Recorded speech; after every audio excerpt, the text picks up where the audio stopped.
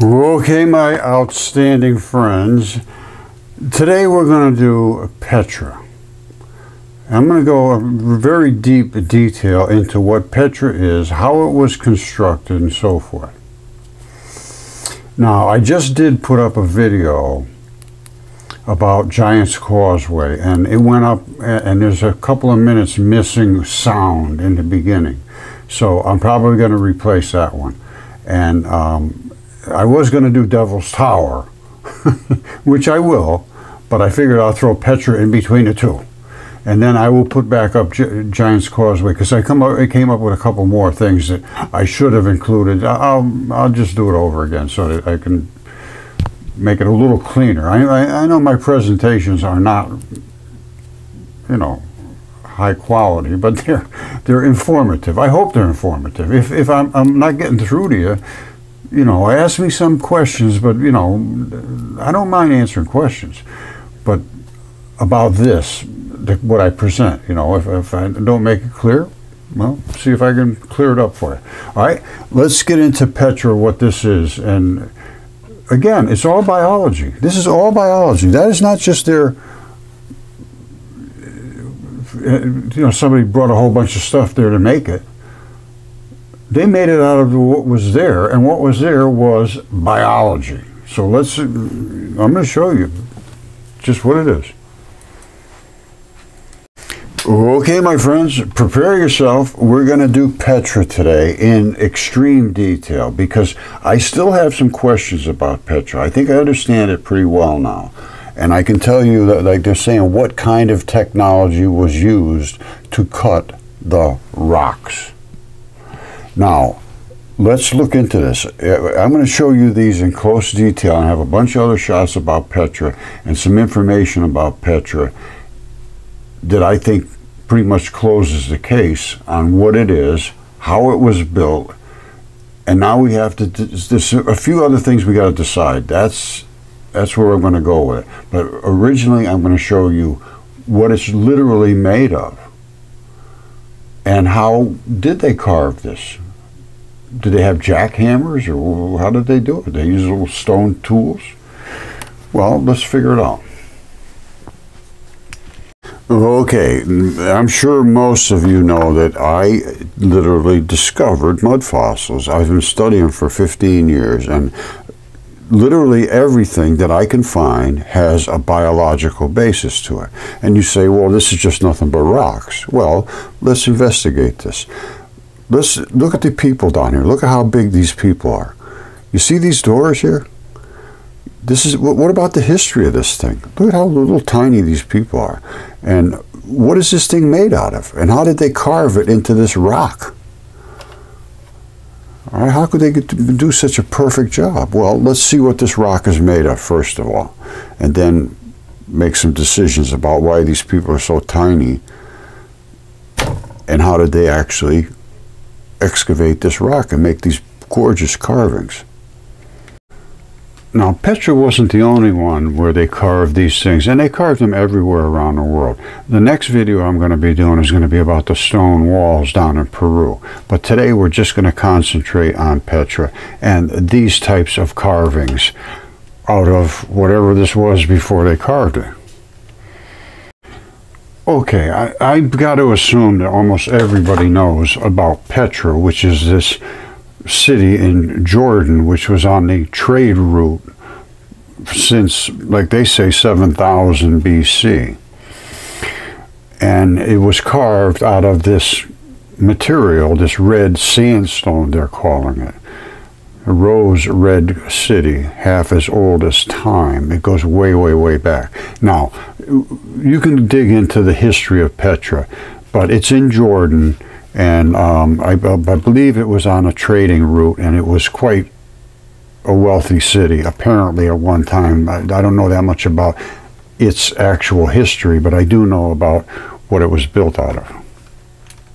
Okay, I want to make two quick statements if I didn't already say this is going to be a shocker du jour, this is going to be a shocker du jour. Now, secondly, I did say I believe that all we were going to do is Petra today. Well, we're also going to do Mars because Petra has a link to Mars, believe it or not. And of course, you know, this is Petra. They call this the treasury. And we saw these people standing on here about this tall, right down here. This is a very, very large structure. You see that? You see these colored bands here? These people aren't even that high up on these colored bands. So remember how big these doorways are and so forth and how enormous this structure really is. And you see these little blocks here? We're going to be looking at these carefully in a minute. But look at the size of these people. You'd be standing up to about here. This is one of these blocks. There's another block, another block, another block. I have other better pictures to show you. I just want to give you a perspective of how small people are in comparison to this structure. All right, I might as well not keep you in suspense. This is a mud fossil. This is down below. This is what they call the treasury. And I showed you these little people down here. They were about up to here. And these are the blocks I was talking about. And this is way up above, and I'll show you this in more detail. But these were the people standing about standing about this tall. They're standing maybe this tall on each one of these blocks. You see these blocks right here? And all this was just whatever, however that happened, I don't know. Well, I do know, and you'll know in a minute too. And this is what is up above, which is this, you know, whatever you make of it. I know what it is, and you will uno momento. All right, as I told you, this is mud fossil biology. Okay, let's take a look at this. This is the area that Petra is in. These are the valleys, the gorges that come through there. I guess you call them gorges, I don't know. You see all of these, they're all separated in these little slabs like that. You see that? How interesting is that? Why would that be like that? Well, let's go see if we can find Petra. You see, they're all over the place. The same patterns, the same patterns.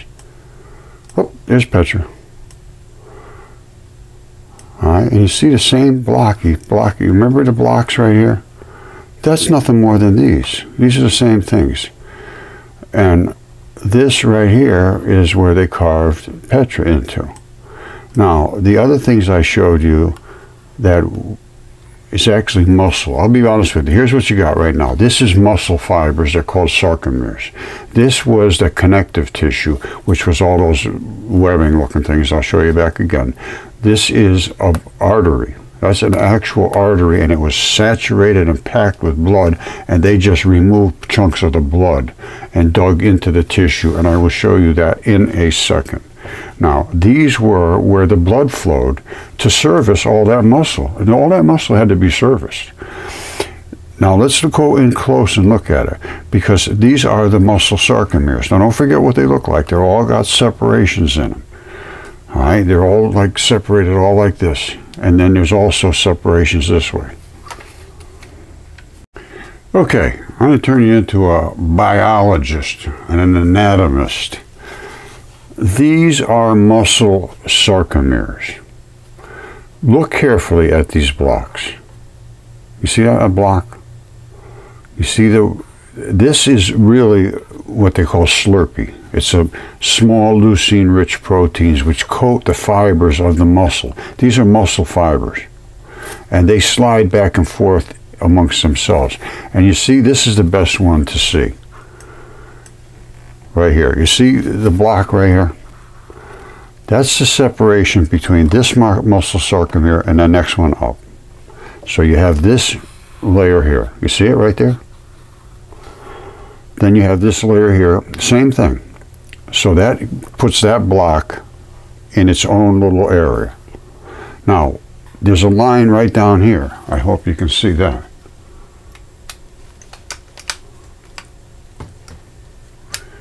I mean, this is, this is very easy to see. Don't forget, here's the outline of the bottom. There's the layer of the top to separate this chunk there's the, line right down here. So you end up with this block in between these two layers. and then you see this has got black and red, and this is just reddish looking. That's a muscle sarcomere. And when you contract your muscle, these two things pull together. Let me show you anatomically.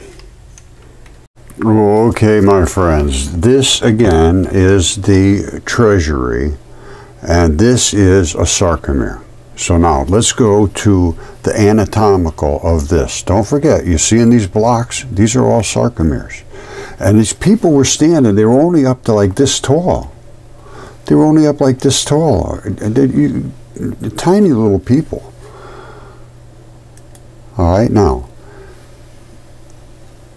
you saw this whole whole shooting match here, and that's how big this is, and that that is really very very tall because the people were like like the size of that hand, not even. All right, now let's look at it a little deeper. All right, these are sarcomeres. They're muscle sarcomeres. They need a lot of blood. Now you see the different colors here? These pinch together. And when they pinch together, they let, this is a contracted muscle, this is just a relaxed. But they have these separation zones exactly identical to what we saw right here. These here are those blocks, and there's the two different what it is is they engage like this to pull together. One of them's connective tissue and one of them has more red floppy stuff, and they pull together. So these are muscles, uh, and inside the treasury, it's just nothing more than flesh. All right, so don't forget, you got the Petra up close. We just, you saw the sarcomeres. This is from long ways, and the whole thing is sarcomeres. This is up above and it has all that connective tissue in it. That is nothing more than connective tissue. You show this to any butcher, he's going to say, yep, that's connective tissue. That's that grizzle. Yep, I know all about that stuff. I know. And that is up above Petra. That, I believe it's right up in this area, I think. I, am not 100% sure, but it's up above Petra could be way up here, I don't know. But it, it definitely transitions from muscle into something else up here, which is where it glues into the tendon or whatever happens up above here. But this is absolutely no question this is muscle. And that is absolutely no question that was blood. And it serviced all of this tissue here. Now this is a, a, rock, and that's the surface of the outside of the rock, and it's cut straight across, and that's this, you know, skin area, and then you get down to the muscle right below, and it's fed with a lot of blood. This is just raw blood. The blood feeds the muscle like unbelievable. You need tons of blood. You see all this? But these are those sarcomeres. I mean, there's no way you can miss this. It's unmissable. Now, that is what we saw on Petra right here. These are the exact same things right here. All right, go back a couple of times and look and make sure you understand what you're looking at. I mean, it's unmissable. The two different colors, the blocks, and the one right on top of the other. They're separated by these bands. Precisely what you have here.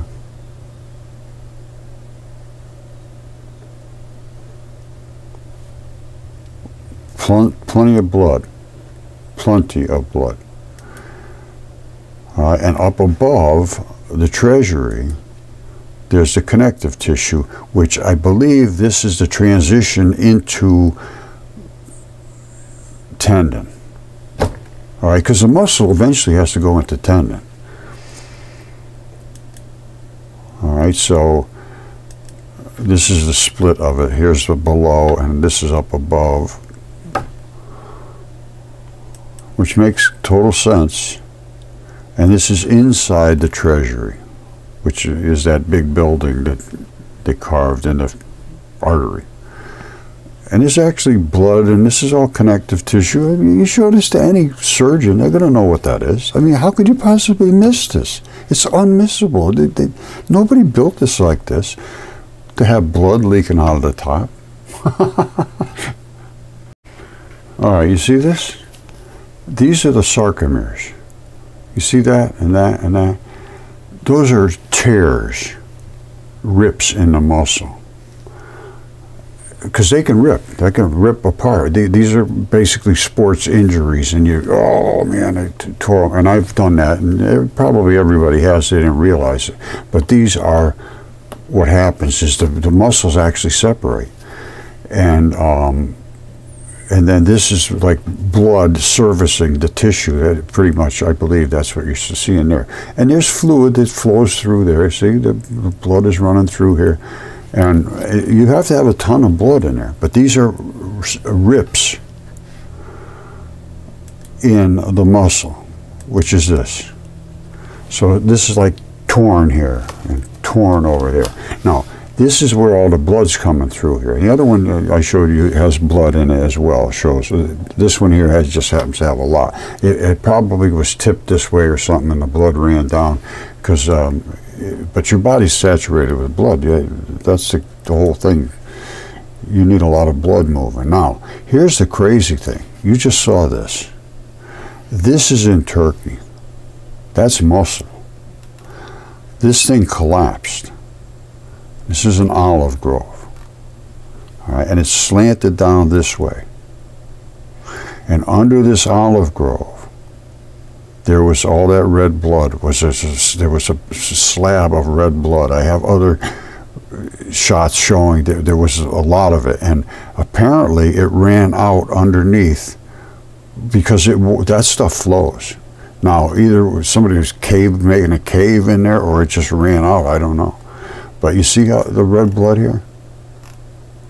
These are the, these are the actual sarcomere blocks.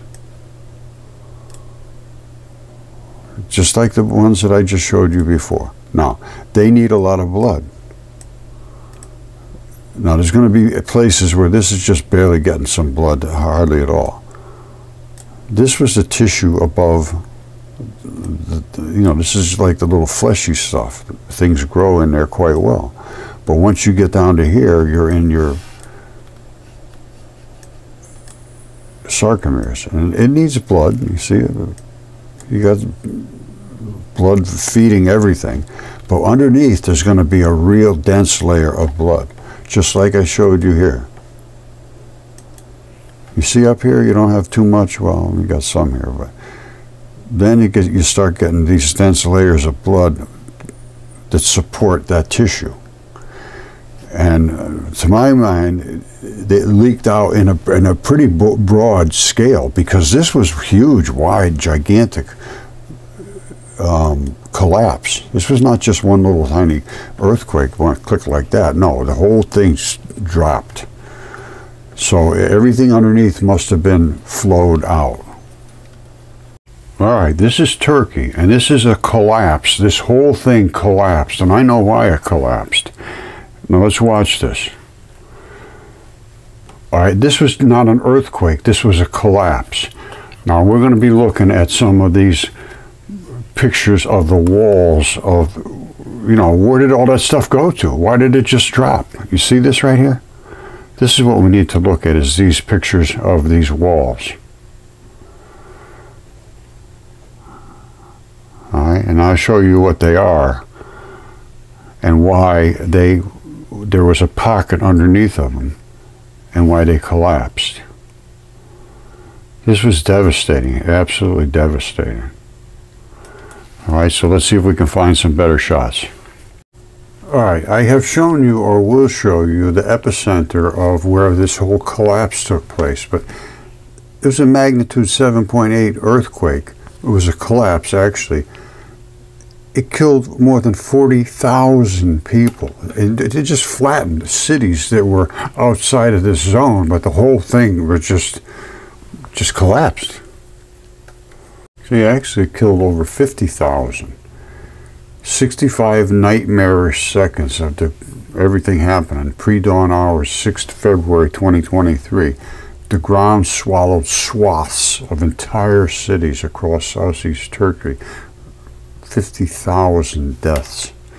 Bridges, roads, airports, tarmacs. Millions of lives across 11 Turkish provinces were upturned by the time the rest of the country woke up stunned. And it was stunning. All right, I'm almost positive I showed you this is the muscle sarcomeres, and that's exactly what Turkey, right on this this right here is the the top where they're growing the trees uh, from the top here growing up. This is the dirt at the top. This is where the muscle starts, and this is what the red blood is that ran out from under the muscles, and that whole system collapsed. That's my take on it, and I'm pretty sure I'm right. Because here's what they are. These are muscle sarcomeres. And this is this is red blood. That's red blood coming out of there.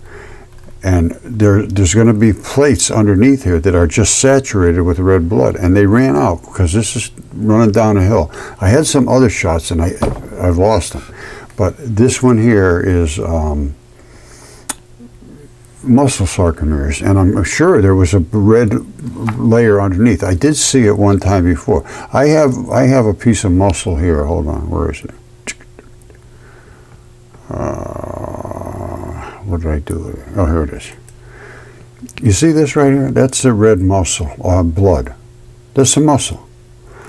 You have to have a lot of red blood filtering into this muscle. And now these are sarcomeres too. They're just so tiny you can't see them. But if this was turned upside down and this red was underneath here, it would run out of there and make a cave just like that. Well, here, I'll tell you what. Here it is right there. This is what happened underneath Turkey. They're growing their trees up here, everything's fine. And all these sarcomeres are in here, they're all right.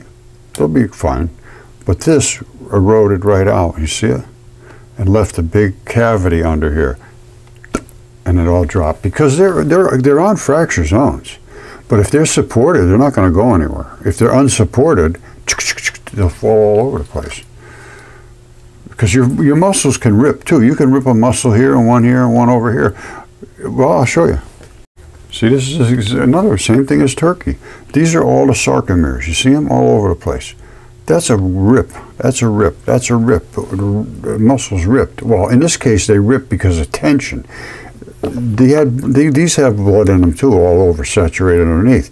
Now, if everything was dried out and it was here for thousands of years, and then all of that cavity left, and you step on it, you'd crack it down the same thing, and it would just collapse. It's not, not hard to understand. It's when, once you understand that we live on biology, 100%. I, I don't care what you say. You can tell me all day long, oh, no, no, Roger. But I, I can prove to you that I am right. And all of this stuff was biology that turned hard after the Great Flood. All right? This is, this is biology. That's blood. That's blood running into tendons. This is tendon. There's the blood over here, too. This was an artery somewhere. And that's the blood running down to service whatever it had to service. The whole world is this way. And I'm going to go, I'm going to do, the next one will be um, Devil's Tower which are this this right here. This is all tendons too. That's the wrinkle zone up at the top where it's snapped. They break off flat as a pancake. So I'm going to go over that, and then I'm also going to go over the, the rocks and the walls and everything that are down in Peru and Bolivia where they have those bumps on the walls. Nobody ever can figure out what these bumps are. Why would they leave these bumps? I know exactly why. And I shall tell you why. And it relates to this right here. It's all biology, my friends. So I'm going to put this one up. I'm probably going to take down the other one about Giants Causeway and rework it. And then um, I'm also going to be doing uh, the Peru ones. And, and they had equipment down there. They had actual physical machinery. And I can prove that. I'm not guessing at this at all. I don't make guesses on this stuff. Very rare that I'm guessing. I show the evidence to support my claims. That's what I will do when we get into that. All right, I love you all, and um, thanks for uh, watching.